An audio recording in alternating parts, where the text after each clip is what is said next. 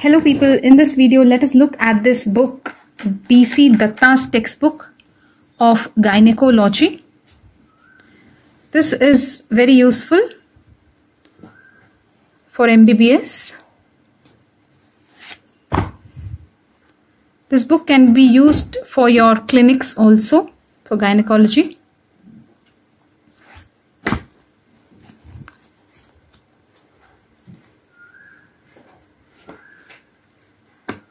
Look inside this book now.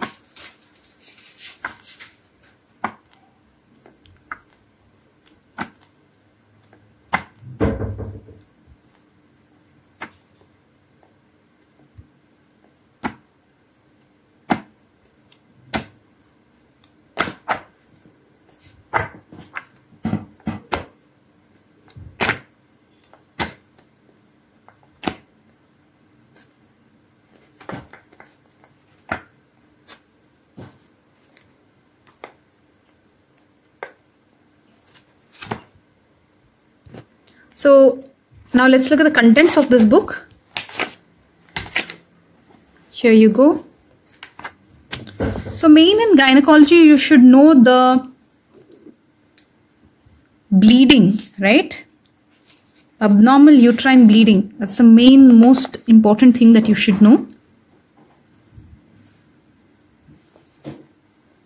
So STDs. So basically everything other than obstetrics, that is pregnancy and uh, uh, childbirth. Apart from that, any female reproductive tract issue is covered in gynecology. Like even contraception is covered here. Okay. So tumors, cancers. So um, look at the contents, people. Are you able to see? So mainly in uh, menopause, uh, if there is um, in menopause, if there is bleeding, right, postmenopausal bleed that can indicate carcinoma. So you should always keep in mind endometrial carcinoma, cervical carcinoma, etc. Now in general, let's look at this book. So here they have tried to show you the anatomy.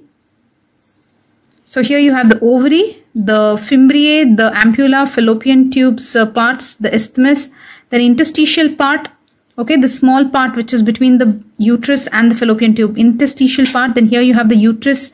Here, here they're showing you the endometrial cavity. Then here you have the cervix and here you have the vagina. Okay? Basics only we told you.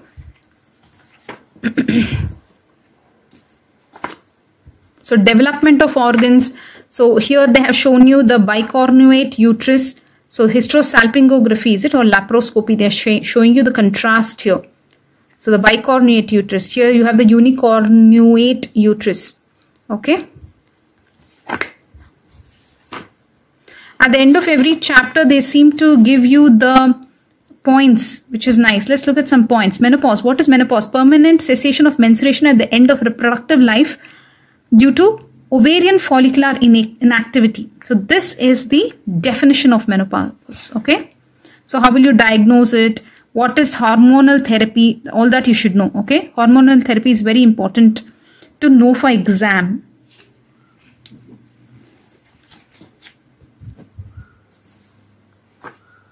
What else? Mensuration.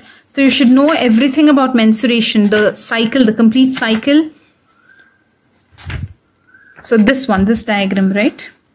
So what exactly is happening from the 0th to 28th day?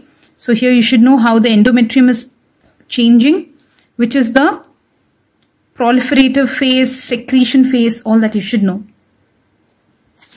How do you feel about this book, guys? This is the most uh, commonly used. Apart from this, people also use the Shaw's gynecology textbook.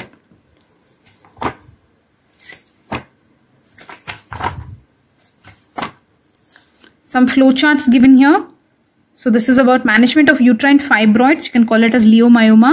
So if it is in the body of the uterus, what can you do? If it is in the cervix, what can you do? If it is in the body, again, they are checking whether it is the, you can do a myomectomy, just remove this myoma, or you can do a hysterectomy, remove the uterus itself.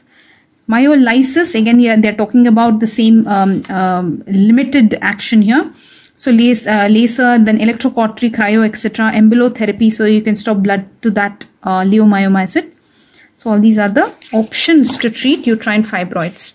This looks like a prolapse. No, sorry. This is a cervical fibroid polyp. This looks so big. Okay. So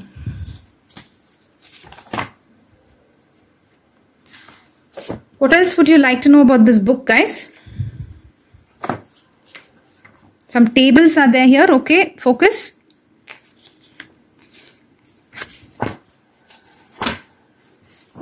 Hormones, special topics, abdominal vaginal discharge. Is it non-infective, infective or neoplastic or if there is a foreign body which is causing the discharge? Operative procedures current topics in gynecology, stem cells therapy, embryonic stem cells in regenerative medicine, all instruments shown here. This is Hegar's dilator, isn't it? Cervical dilators. Hegar's, yes. Here they didn't put the photo. There are 12 sets. That's what we know. We use that. Okay. Then what else is there in this book? Instruments this one, what you saw here, this one, what is this guys? This is the perineorrhaphy. This is the episiotomy scissors, isn't it? Look at that. Perineorrhaphy. Also used in episiotomy scissors. Okay. Then here they are showing you some specimens which they can keep. And remember when you say specimen, you should say it is a specimen of uterus. Okay. That's how you should describe it. See here people, they're saying specimen of uterus. Don't say it is hysterectomy specimen. They'll get very angry sometimes. So say his, uh, what do you, what should you say? Say it. Specimen of uterus. Yes, specimen of uterus you should say. Okay. Now here they have some plates. So they will give you these um, images um, as a plate or, or an x-ray and you have to identify what is happening in these x-rays or ultrasound images. Okay. I think this book is very good for your clinics and for your theory. For clinics, you can also go for a Viva uh, book. So that will be very useful if you have a Viva book. So especially one one case they will pick up and they will discuss extensively about those cases. So those type of books also you can look at. So in this video we have looked at this book DC Dutta's textbook of gynecology. Bye bye.